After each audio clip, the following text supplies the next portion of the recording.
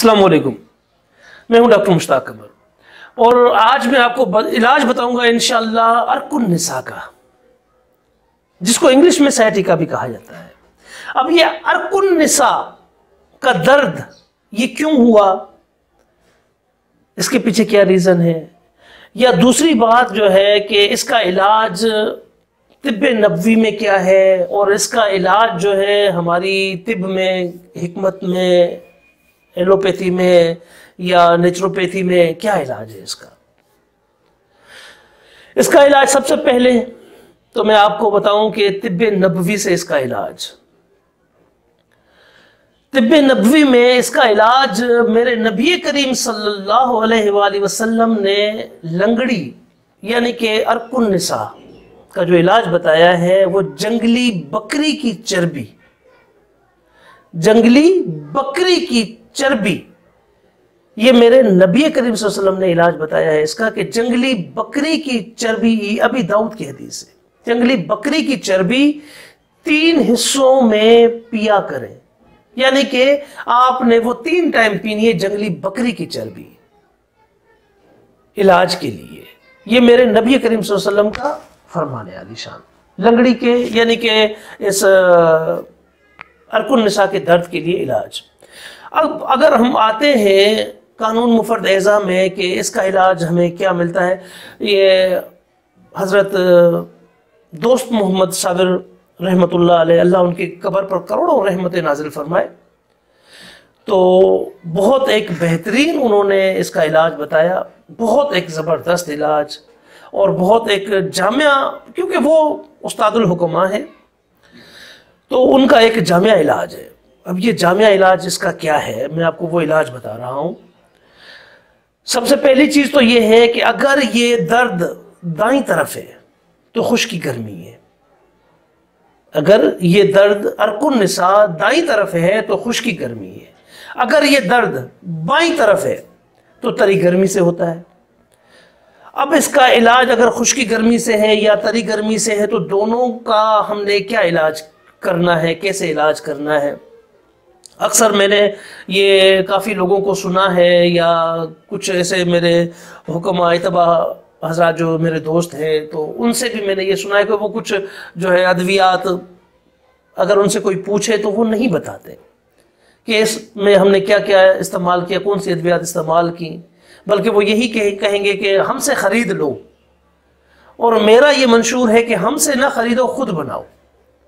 ताकि आप मुस्तफ़ हो सके। हाँ कुछ ऐसी अद्वियात होती हैं कि जो आप नहीं बना सकते वो आप हमसे ख़रीद सकते हैं। जो आप बना सकते हैं आसानी के साथ घर में तो वो आप खुद बनाएँ और उसमें से मुस्तफ़ होते रहें। अब इसका इलाज क्या है? अगर ये चीज़ ये दर्द जो है खुश गर, खुश्की गर्मी से है यानी कि दाई तरफ़ का दर्द है तो उसका इलाज क्या है? उसके लिए सूरन जान शीरी। सूरन जान शीरी साठ ग्राम नौशादर साठ ग्राम और उसके अलावा रेवंत असारा। ये आपने लेना है तीस ग्राम। अब ये तीनों को आपने बारीक सफूफ बना लेना है। बारीक सफूफ बनाकर आपने ज़ीरो वाले कैप्सूल, ज़ीरो वाले कैप्सूल, ये आपको पंसार स्टोर से भी मिल जाएँगे। आपको उसके अलावा ये हर्बल स्टोर से भी मिल जाएँगे, मेडिकल स्टोर से भी मिल जाएँगे। आप कहेंगे ज़ीरो वाले कैप्सूल, वो आपको ज़ीरो वाले कैप्सूल दे देंगे। तो ये वाले, ज़ीरो वाले कैप्सूल आप भर लें। भर कर सुबह शाम एक एक कैप्सूल ये आपके जो दाई तरफ़ के दर्द का था। अब आए बाई तरफ़ के दर्द के लिए, कि इसका इलाज क्या है? इसका इलाज यही है बाई तरफ़ के, इसमें आपने लेना है अस्पंद सूरनजान और मुस्बिर। ये आपने बराबर वज़न, यानी कि हम वज़न लेने हैं तीनों चीज़ें। तीनों चीज़ें हम वज़न लेकर आप इनकी चने के बराबर गोलियाँ बना लें, या आप उसके अलावा 250 मिलीग्राम 250 मिलीग्राम के कैप्सूल मिलेंगे आपको। ये भी पल्सार स्टोर से भी मिल जाएँगे, हर्बल स्टोर से भी मिल जाएँगे, मेडिकल स्टोर से भी मिल जाएँगे। तो ये 250 ग्राम वाले कैप्सूल जो है, ये आप भर लें और ये कैप्सूल जो है, आप दो घंटे के बाद, हर दो घंटे के बाद, पहले दिन, मैं ये दावा कर रहा हूँ कि पहले ही दिन इनशाला अल्लाह के हुक्म से जैसे ही ये दवा अंदर गई इनशाला दो घंटे, बहुत बड़ी बात है। बहुत बड़ी बात है, हकीकत में बहुत बड़ी बात है ये। क्योंकि साबिर मुल्तानी रहमत ने जो इसका ये इलाज बताया है, बहुत एक नहायत ही ज़बरदस्त इलाज है ये।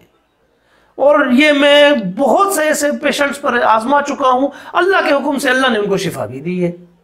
अब ये कैप्सूल पहले अगर दर्द, जैसे कि मैंने अभी आपको बताया कि बाई तरफ़ का दर्द है तो बाई तरफ़ के दर्द वालों के लिए आपने ये कैप्सूल हर दो घंटे के बाद दे।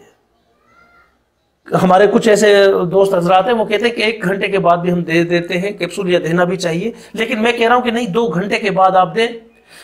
ये आप दो दो घंटे के बाद उस मरीज़ को कैप्सूल देते रहे। तकरीबन दो से तीन कैप्सूल मरीज़ खाएगा इनशाला मरीज़ ठीक हो जाएगा। जो अकड़ी हुई रग है, वो अकड़ी हुई रग उसकी नरम हो जाएगी। जो टांग से, जिस टांग से वो चल नहीं सकता, अल्लाह के हुक्म से, उसके बाद वो दौड़ना शुरू कर देगा। अल्लाह के हुक्म से। क्योंकि शिफा अल्लाह ने देनी है, दवा ने नहीं देनी। ना मैंने देनी है, दवा ने भी नहीं देनी। अल्लाह ने शिफा देनी है। तो ये आप पहले दो दो घंटे के बाद दें जब मरीज़ ठीक हो जाए तो इसका मुस्तकिल फिर हल ये है कि आप इसको चार चार घंटे के बाद दें। चार चार घंटे के बाद, फिर दो दिनों के बाद आप यही अद्वियात अगर इस्तेमाल करना चाहते हैं, अगर करना चाहते हैं इस्तेमाल तो आप इसको रोज़ाना एक कैप्सूल, रोज़ाना एक एक हफ़्ते तक ये इसका मुकम्मल इलाज है। उसके बाद इनशाला ज़िंदगी भर आपको लंगड़ी का दर्द या अरकुन्निसा कभी नहीं होगा इनशाला और मेरी एक गुजारिश है कि ये एक सदका जारिया है। जब आपने किसी भी बीमार को एक ऐसा नुस्खा बताया जो वो आसानी के साथ बना सके या वो इस्तेमाल कर सके जिससे उसको शिफा मिल जाए तो ये सदका जारिया बन जाता है। तो ये सदका जारिया है। इस पैगाम को ज़्यादा से ज़्यादा लोगों तक पहुँचाए। हो सकता है कि कोई ऐसा मुस्तक हो, कोई ऐसा मजबूर हो, जिस तक मेरी रसाई नहीं हो पा रही और आपकी रसाई है वहाँ तक तो आप उन तक ये पैगाम पहुँचाएँ और अल्लाह उनको शिफा दे, ताकि वो मुस्तफ़ हो सके इस नुस्खे से। और वो आपके और मेरे हक में दुआ कर सके। असल